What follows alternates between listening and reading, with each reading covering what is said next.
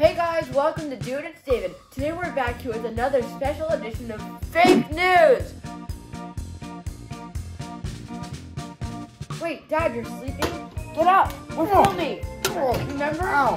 Why do you keep Oh. forgetting this stuff? Yeah, the uh, the weather's just been really weird lately. That's why you're up here. Well, then let's start off with the weather. Around the U.S., there's been record-setting high temperatures, which is causing things to freeze. These blistering high temperatures are getting above the boiling point, which causes this strange phenomenon where things do the exact opposite. They freeze. People's water pipes have been freezing, and rivers are freezing also. People aren't sure whether they should be grabbing jackets or maybe sunglasses and heading to the beach. If you're not sure what to do, just try not to get heat exhaustion or be frozen. For the geography news, the Rocky Mountains are in danger of being extinct. Yep. Scientists have recategorized them from endangered to critically endangered. So what you think might be a nice little walk in the mountains, you're actually doing this, Or this, or this, or this, or this, or this, or this, or this, or this. or this. Oh First it was the dinosaurs. And now it's the mountains. For the world news, the eighth continent has been discovered. It's Texas. no, it's not. Texas is a state, No, Texas is a country and now a continent. but it's not surrounded by water. It touches the Gulf of Mexico. And it's gonna be the Gulf of Texas soon. It's not surrounded by water. Okay, fine, you win. It's a continent. Alright. Now for some breaking science news. Not only is the Earth flat, but the Sun and Moon are too. They've had that sneaking suspicion about the Earth being flat for years, and I'm so excited to find out the Earth, Sun, and Moon are all flat. It's awesome. I mean, have you ever been hiking on a mountain on the sun? Nope, That's because there are none. Because the sun is flat.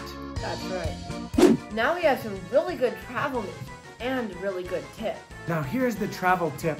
Don't tell anyone, but you could save thousands of dollars if you follow this one tip. So I called my travel agent yesterday, and she didn't have anything available for tomorrow or next week or today. And she said, Can you travel yesterday? And I said, I never thought of that. It's a crazy idea. It's brilliant. She had openings for yesterday and the day before. That's so awesome, isn't it? It's fantastic. I even got 70% off. Wow. So take that travel tip and run with it. Travel in the past, save some cash.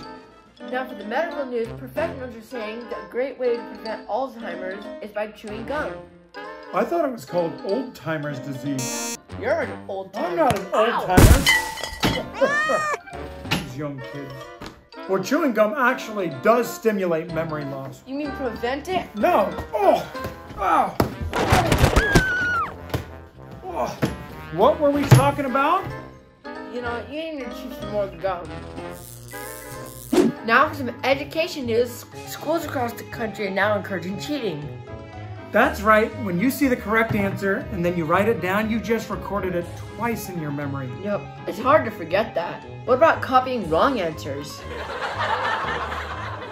So if you know anybody that gets straight A's in school, make sure to sit next to them.